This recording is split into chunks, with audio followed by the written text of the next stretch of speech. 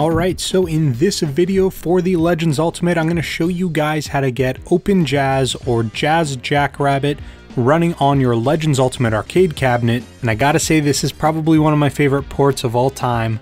This is Steve from Restalgia, and let's get started.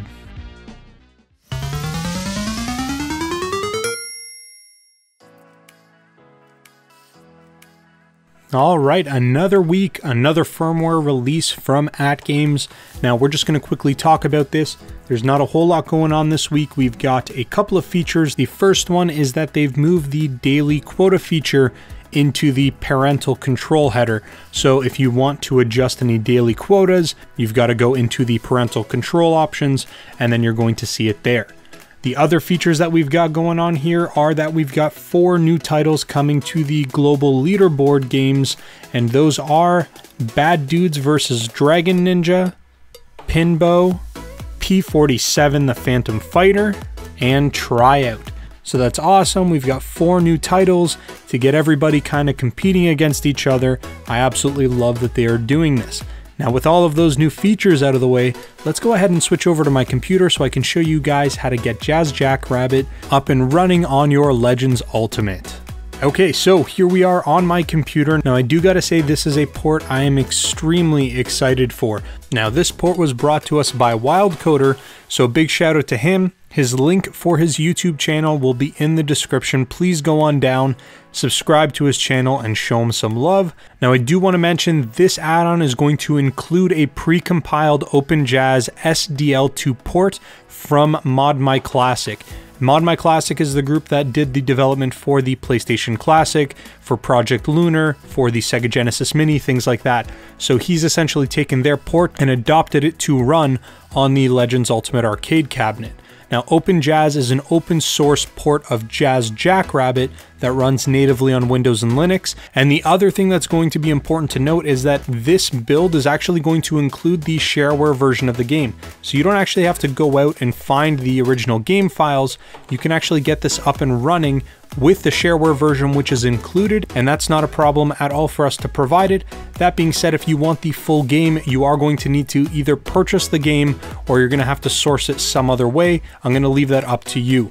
Now I am going to show you guys how to exchange the existing shareware version for the full version if that's something you're able to do. But if not, you're still going to get the shareware version, which I believe includes the first level with a bunch of stages, so it's still something that you guys can go ahead and load up. Now, in terms of Jazz Jackrabbit running on the ALU, it is actually really, really cool because I personally think Jazz Jackrabbit is a very well built for an arcade setup. If you guys remember when this game first came out, there was a gamepad, I think that was called the Gravis gamepad or something along those lines. I'll find a picture of it and I will stick it up on screen. And it was interesting because this controller specifically actually had a little thread in the middle of the D-pad that you could attach this little stick to, so you could essentially convert the controller into almost like a mini fight stick. So it is actually kind of interesting that that was the main supported controller for this game. And, uh, and it actually works quite well in terms of playing with that style of controller. So moving all that stuff aside, let's get this thing loaded. So the first thing that we're gonna have to do is go on over to our Dropbox link. Again, all the links that were provided by WildCoder will be in the description down below. But when we load up the page, you're going to see that we have access to an add-on, which is the UCE file, and then we have a folder called OpenJazz.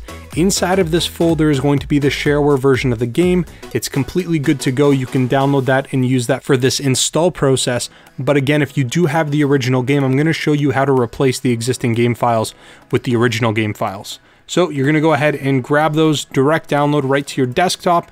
Once you do that, you'll be left with a zip file. When you extract that zip file, you'll have these two files here. The first thing that we're gonna do is just go ahead and throw our UCE file onto our USB drive. And I've got all of my ports in a ports folder. I'm gonna go ahead and just dump it into that folder there.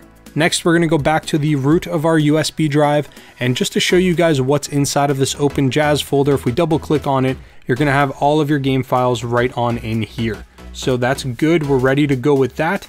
We're gonna go ahead onto the root of our USB drive, double click on our content folder, and if you don't have a content folder, you'll have to create one. Then we're gonna double click on ports, and then in here, you're gonna see we've got the folders for all the ports that we've previously done. we're just gonna go ahead and grab our OpenJazz, dump it into this folder, and we're gonna let it transfer in. Now, other than that, we're actually finished with the Jazz Jackrabbit port. There's nothing else that needs to be done. You could technically take your USB drive, pop it into your arcade cabinet, and go ahead and launch the shareware version of Jazz Jackrabbit. But if you're like me and you have access to the original game files, you're gonna wanna go ahead and grab those and dump them in so you have access to the entire game. Now I've got my game files right over here, so I'm just gonna shift them over to this side and we're gonna go ahead and double click on this OpenJazz folder that we just loaded up onto our USB drive. And again, this is only pertinent if you have the full game files. If you do not, you can just stop where we're at right now and go ahead and plug this into your cabinet and start playing the shareware game.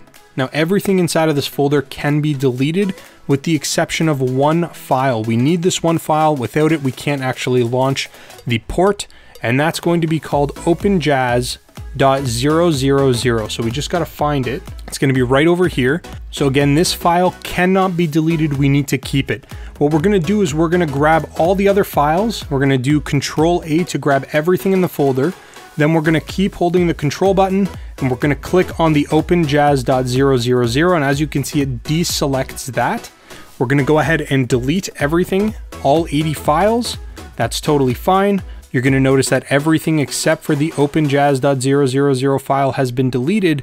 Then we can go ahead and grab everything from our full version of the game and dump that into our USB port into that folder. Now I'm going to go ahead and let that transfer over and I'm going to skip over this process. And that only took about 15 or 20 seconds, so it's not a long process, it's not a lot of game files. Now that we've transferred over the full version into our OpenJazz folder, we're done. There's nothing else that needs to be done. We can grab our USB drive, pop it into our cabinet, and give it a go. So we're gonna go ahead and do that. Okay, so here we are on the arcade cabinet. I've got my USB drive plugged in, and we're gonna navigate over to the BYOG section, and we're going to select the add-on feature. Next, we're gonna scroll on down to our ports folder, and when we click on that, you're gonna see the beautiful and lovely icon for Jazz Jackrabbit, and that's pretty much it. I'm going to go ahead and jump into some gameplay footage and then we're going to wrap up the video.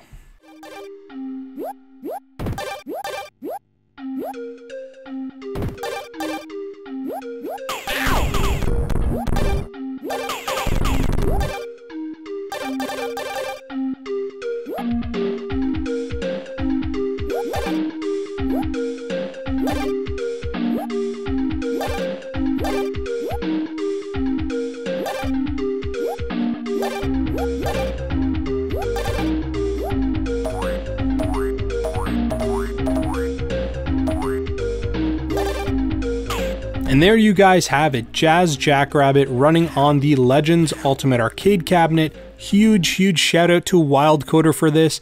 Very awesome to see this port make its way to the cabinet. It is a ton of fun. If this is not a game you guys have played, please pick this one up download it, run it. It is so much fun. It's such a good game. And the nice thing about this game, as you guys saw, is that it is the upscaled version. So we're running this in 720p and it looks absolutely fantastic. But that's pretty much all I've got for you guys. Please consider subscribing to the channel, give the video a thumbs up, and I will talk to you guys again real soon.